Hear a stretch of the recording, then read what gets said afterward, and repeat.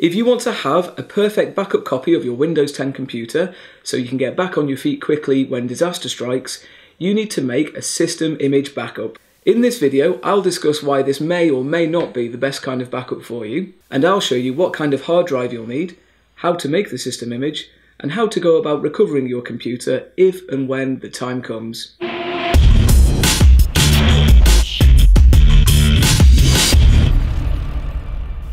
Computer hard drives fail all the time, and yours could die when you least expect it. It's really cheap to buy a new hard drive, and it's fairly easy to install it yourself.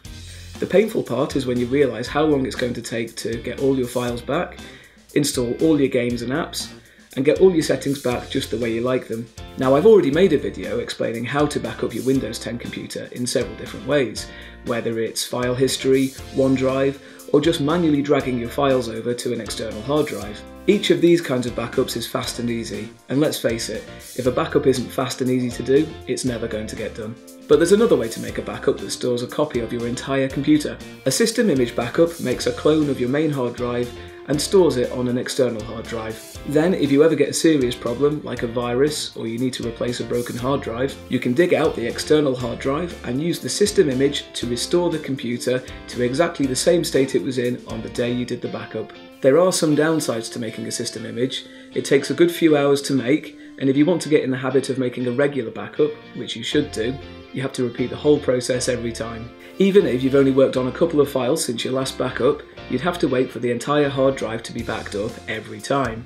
And if your computer completely dies on you, you're going to have to buy something to replace it. A system image would be no good to you then because it can only be used to recover the same kind of computer that created it. So, as you might have guessed, a system image backup is only worth doing if it's in addition to another kind of backup. So, what do you need to make a system image backup? Well, you're going to need an external hard drive like this. You can find out what capacity you need by opening File Explorer on your computer. Click on this PC and you'll see the main hard drive. Although my hard drive is only half full, I'm probably going to fill it up in future so I'll need to buy an external hard drive the same size as this drive. We can round this number, 952 gigabytes, up to 1000 gigabytes, which is 1 terabyte. If you have any other hard drives listed here, you might want to include them in the backup, so add up their capacities and buy a hard drive that's larger than the total. I would say look for a good brand because you really need to rely on this thing when the time comes. I normally buy Western Digital or Seagate. Now I'm going to plug in my 1TB hard drive and wait for it to show up on the computer. If you have any other external drives or memory sticks plugged in, it's best to unplug them at this point so you don't risk overwriting any important data. Now open Settings and go to Update and Security.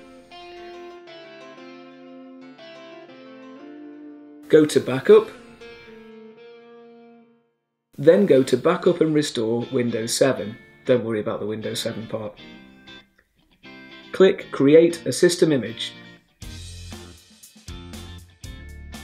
Select on a hard disk, then make sure this is set to the hard drive you plugged in. Click Next.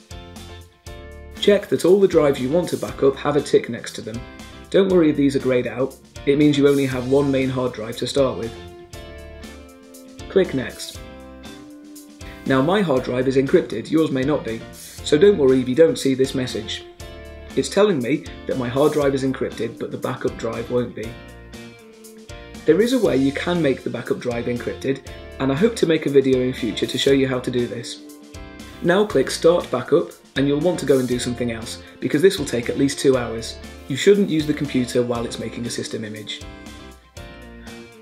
Once it's finished, the computer will say the backup completed successfully but you might not see that message because another one pops up over it asking if you want to create a system repair disk. Now you can do this, but your computer will need to have a CD or DVD drive. A system repair disk contains the recovery tools which you'll use to start the recovery if you ever need it.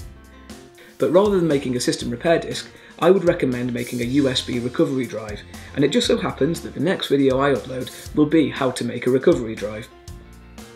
Anyway, now that you've made your system image, you want to safely eject the hard drive. Now unplug the drive and keep it somewhere safe. Don't keep it near the computer, ideally you should keep it in another room. Don't forget to repeat this process at least once a year, because the more often you make a backup, the more up to date it will be if you ever need to use it.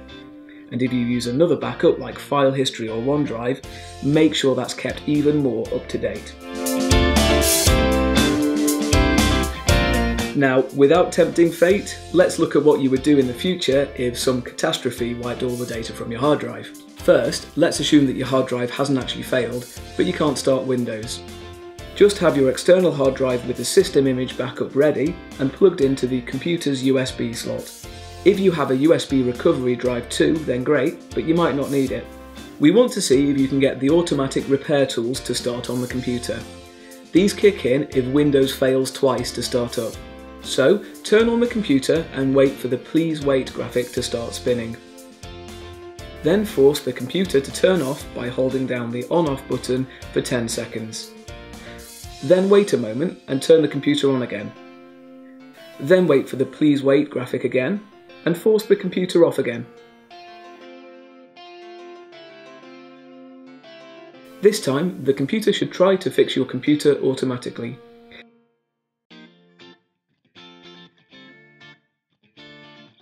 It will probably give up though, and when you see this message, click on Advanced Options.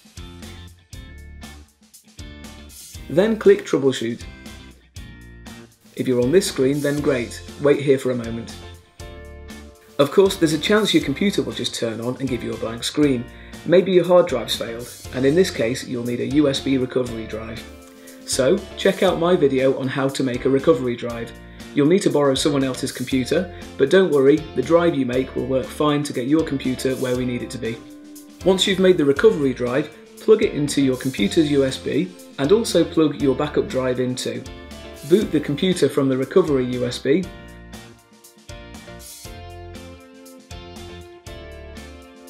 Select the keyboard layout, then click on Troubleshoot. Now we're all on the same screen and we should be able to restore the backup. Click on Advanced Options first. Look for System Image Recovery. Click on System Image Recovery. You should see your backup drive listed with the date and time you made the backup. Click Next. Please be really careful here, you're going to wipe all your drives clean, so you should only proceed if you're certain you've backed up all your data. When you're ready, click Next. Then you just need to click Finish, then say Yes, and your computer will start the long process of restoring your data. This will take a few hours, and when it's finished, your computer will be working exactly how it was on the day you did the backup. So now you know how to back up your computer to a system image and how to restore it. I really hope this saves you from stress and worry should you ever need to use it, but more importantly, I hope you never need it. Let me know in the comments below this video if it helped you. Did it take hours and hours to do? Have you ever had a complete catastrophe and lost all your data? I'd really like to hear your stories, good or bad. Also, please give this video the thumbs up, and if you'd like to see more tutorials like this from me in future, please consider hitting the red subscribe button. Thanks for watching.